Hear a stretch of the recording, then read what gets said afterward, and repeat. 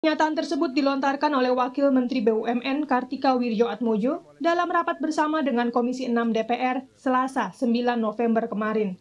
Kartika menyebut beban utang yang ditanggung Garuda sulit diurai. Upaya pembenahan menurut Kartika tetap dilakukan, walaupun jika mengacu pada istilah perbankan, secara teknis Garuda dapat dikatakan sudah bangkrut.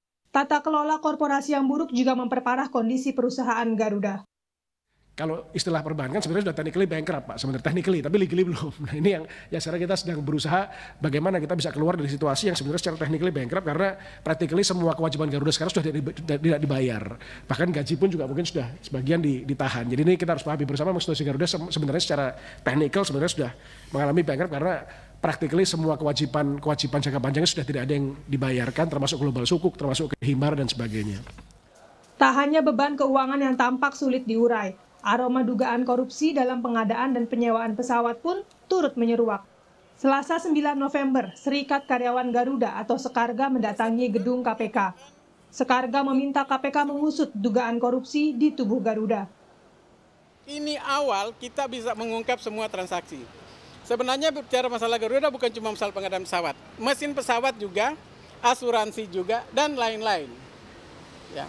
Kami berharap KPK memang akan menindaklanjuti dan semoga ini menjadi pintu masuk KPK untuk melakukan pemenahan di tubuh Garuda dan kami sangat mendukung itu.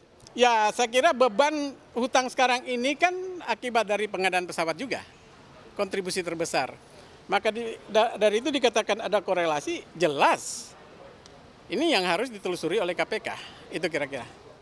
Staf khusus Menteri BUMN Arya Sinulinga dalam program Sapa Indonesia Malam menyebut Menteri Erick Thohir telah bergerak dan mendatangi KPK. Koordinasi telah dilakukan oleh Erick sejak tahun 2020. Loh, kita dorong kok. Makanya saya bilang, coba lihat aja di online saja. Tidak detail juga ada. Kita udah kasih. Pak Erick itu langsung ke KPK. Koordinasi ke KPK. Ada kok. Coba aja di searching lah. Ya, di searching. Enggak, kita nggak, nggak diem. Gini Garuda ini kita tahu, siapa bilang kita diem? Ini kita stres kok Garuda ini. Pusing kita nanggulanginya. Ini gila ini, ini perusahaan dirampok habis-habisan. Yang saya kasih contoh sederhana aja. Kan tahu kasusnya di Garuda yang sebelum sekarang. Yang ya, lapor ya. siapa? Emang Skarga. Kami. Sampai dicopot kok. Walaupun kondisi Garuda saat ini bagai benang kusut, Kondisi 6 DPR mengingatkan upaya penyelamatan Garuda harus terus dilakukan. Dengan catatan, pembenahan tidak menggunakan dana PBN. Perintah dari partai jelas. Pemerintah wajib menyelamatkan Garuda.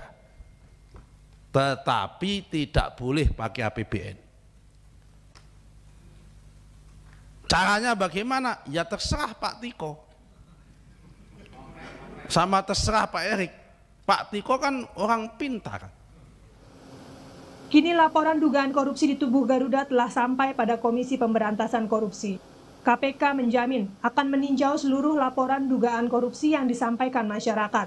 Laporan tersebut nantinya akan diverifikasi untuk mencari ada tidaknya potensi korupsi. KPK memastikan jika ditemukan indikasi penyelewengan hukum, pihaknya akan menindaklanjuti dan membuka penyelidikan baru. Tim Liputan Kompas TV. Lebih lengkap terkait dugaan korupsi di tubuh Garuda Indonesia, kita tanyakan langsung pada jurnalis Kompas TV, Eri Cesaria di Gedung KPK Jakarta. Eri, kemarin uh, dukungan pengusutan, pengusutan dugaan korupsi dari Serikat Karyawan Garuda Indonesia telah disampaikan ke KPK.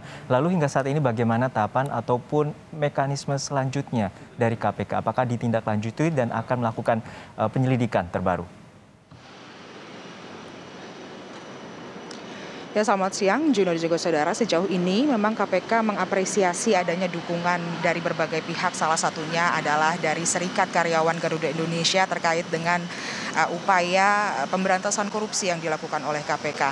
Namun menurut PLT juru bicara KPK yakni adalah Ali Fikri pada Selasa kemarin dirinya menyampaikan hingga hari Selasa sore belum ada laporan resmi dari berbagai pihak. Salah satunya adalah laporan resmi dari uh, Serikat Karyawan Garuda Indonesia terkait dengan laporan dugaan tindak pidana korupsi baik itu yang dilaporkan secara resmi melalui surat maupun juga melalui uh, saluran resmi pengaduan masyarakat milik KPK.